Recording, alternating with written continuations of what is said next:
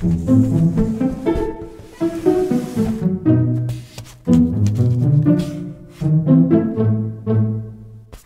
привет! И сегодня на обзоре наикрутейшее устройство для домашней уборки – беспроводная электрическая швабра Xiaomi.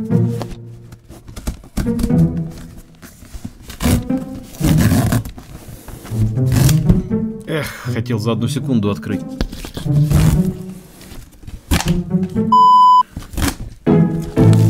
Абсолютно ненавязчиво, как бы так, между делом, в самой легкой форме, хочу порекомендовать позитивный канал по распаковкам разнообразных товаров из Китая под названием «Обзор терапия». У автора на столе товары различной ценовой категории, присутствуют видосы с распаковкой сразу кучи посылок. Давайте дружно поддержим развивающийся канал подпиской, ссылка на него есть в описании. Внутри первой коробки, как вы видите, еще одна коробка. Здесь, видимо, инструкция. Все упаковано довольно надежно, выглядит аккуратно, в стиле Xiaomi. И первое, что встречает, это основание этой электрической швабры, которая весит 2 килограмма 150 граммов. Далее в комплекте зарядное устройство 12,6 вольт 1 ампер. Переходник они мне не положили, да? Ну ладно, ничего страшного. Мерный стаканчик 150 миллилитров. Скорее всего для заполнения резервуара с водой. Три элемента сборной ручки. Нет, даже четыре. Собирается все очень просто.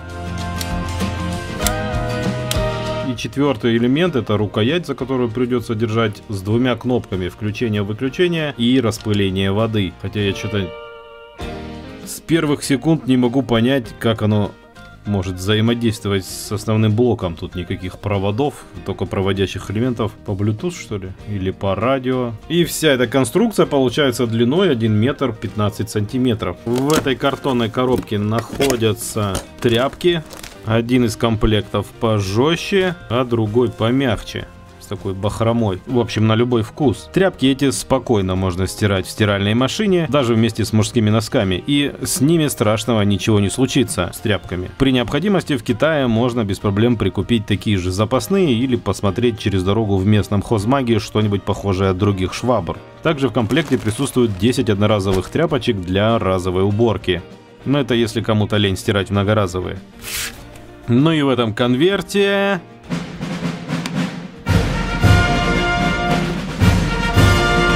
Инструкция на китайском языке.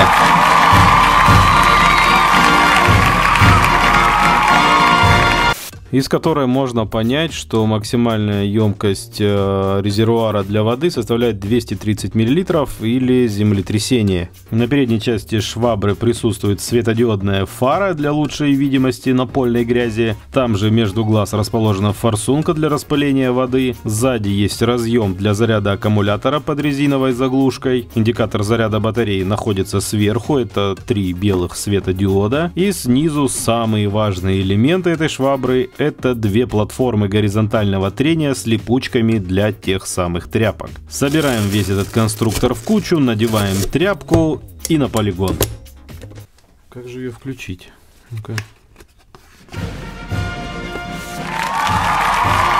Швабра активируется сразу же после наклона ручки. Моментально включается подсветка и индикатор заряда батареи. Кстати, одного этого заряда хватает примерно на 50 минут работы. И чтобы швабра запустилась, нажимаем кнопку включения.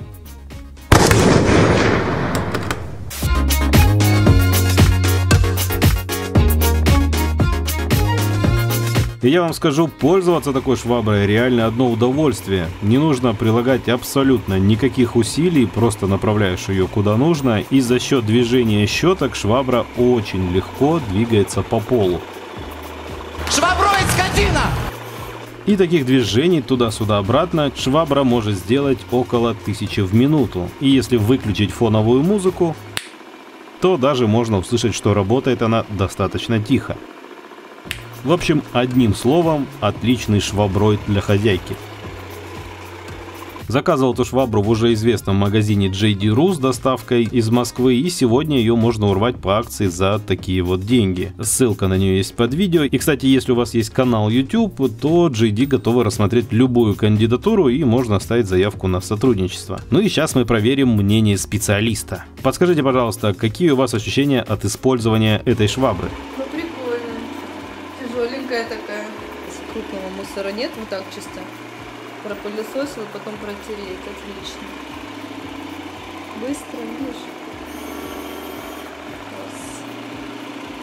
В итоге выяснилось, что эта швабра будет полезна только для влажной уборки, то есть ей имеет смысл пользоваться исключительно после прохождения пола веником или пылесосом, так как сначала необходимо убрать крупный мусор, ну а потом уже пройтись этой шваброй.